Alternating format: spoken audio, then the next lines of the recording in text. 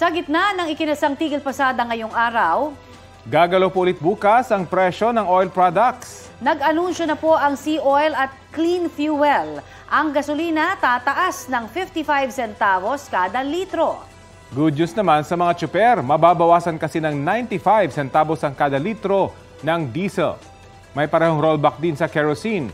Ito na ang ikalawang sunod na rollback ng diesel at ikaapat naman para sa kerosene. Balita ko, may tututukan kayo tuwing 10.30 a.m. sa GTV.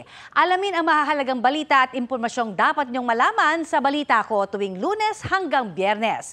Mag-subscribe din sa GMA Integrated News sa YouTube.